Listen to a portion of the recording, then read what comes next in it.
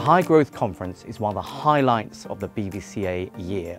The focus is on the entrepreneur, but the broader purpose is to bring together the whole of the industry ecosystem, investors, managers, portfolio company leaders, and the advisors on whom they depend.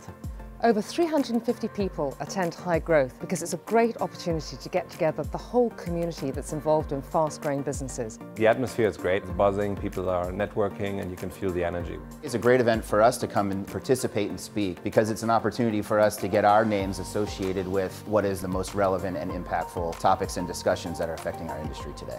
The importance of the High Growth Conference is to highlight and to champion people running very, very fast growing businesses which are building jobs, generating tax revenue and generally boosting the British economy at a particularly important time.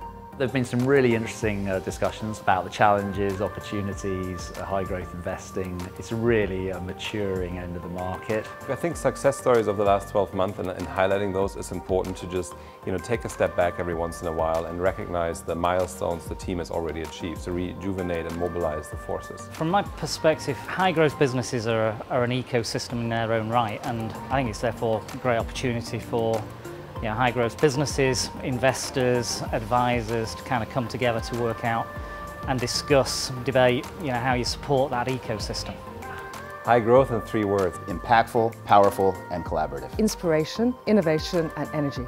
Entrepreneurialism, uh, innovation and great ideas. Energy, it's momentum, it's building the future. It's exciting, uh, interesting and most of all, fun.